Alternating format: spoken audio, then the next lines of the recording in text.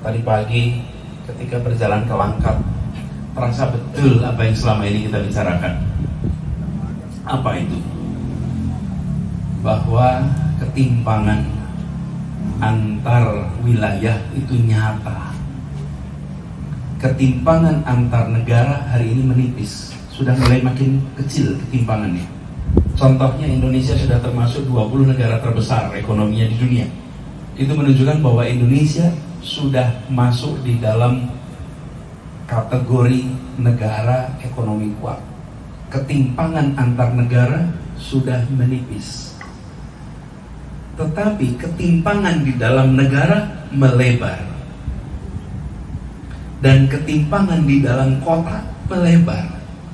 Jakarta dibandingkan dengan Tokyo, dibandingkan dengan Singapura, dibandingkan dengan kota-kota besar dunia sekarang hampir setara. Tapi ketimpangan di dalam Jakarta itu melebar. Sama juga dengan Indonesia.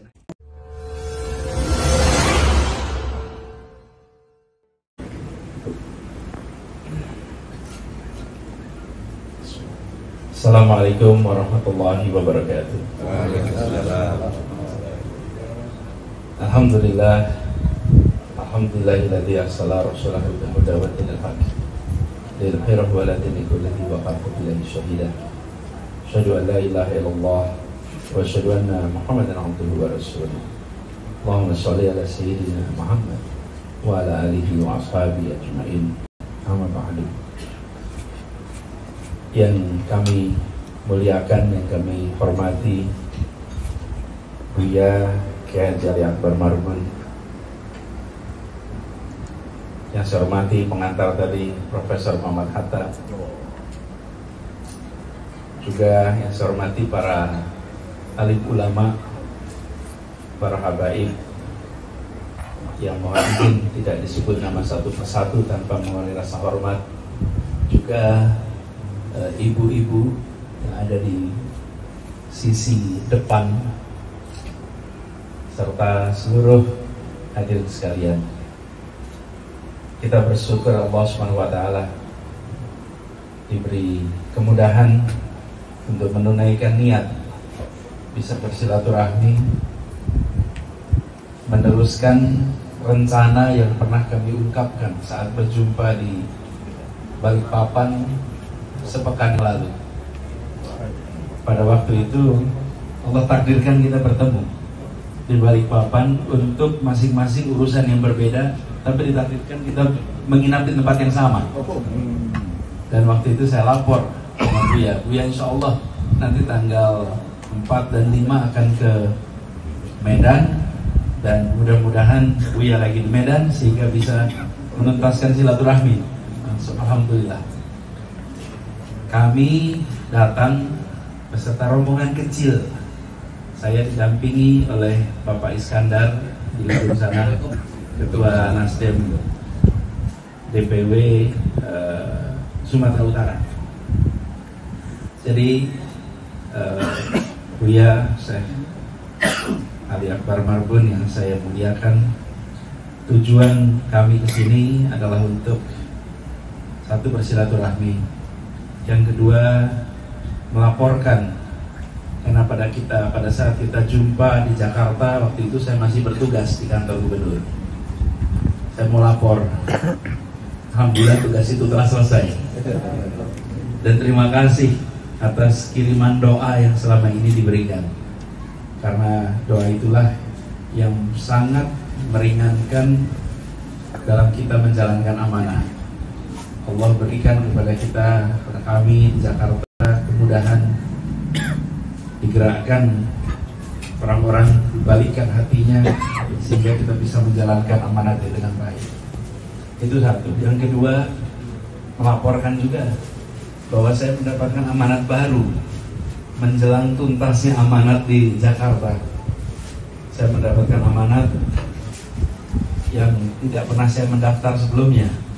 Sebagaimana dulu ketika saya mendapatkan amanat di Jakarta, saya pun tidak pernah mendaftar sebelumnya saya mendapat amanat untuk menjadi calon presiden yang diusulkan oleh Partai Nasdem. Ini amanat besar. Karena itu kami berkunjung silaturahmi ingin mohon diberikan doa.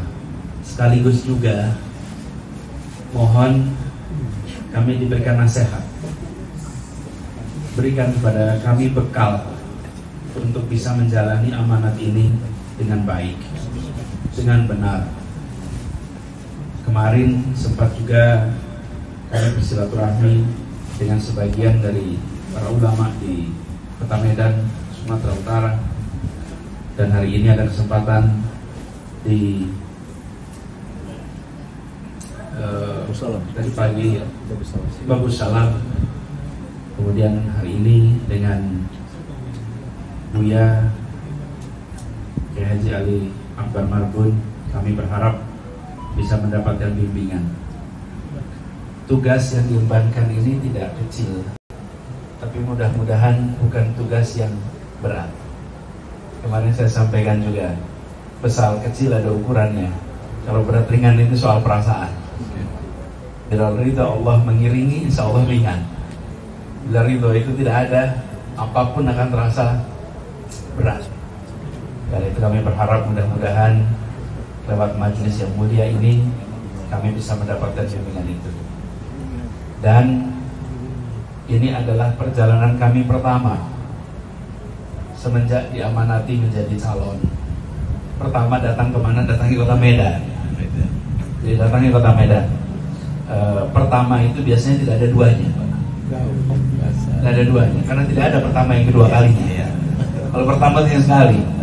Kalau paling besar mungkin di masa depan ada yang lebih besar lagi. Kalau paling tinggi mungkin ada yang lebih tinggi lagi. Tapi kalau pertama itu tidak bisa ada dua kalinya. Ya, hanya sekali yang pertama itu.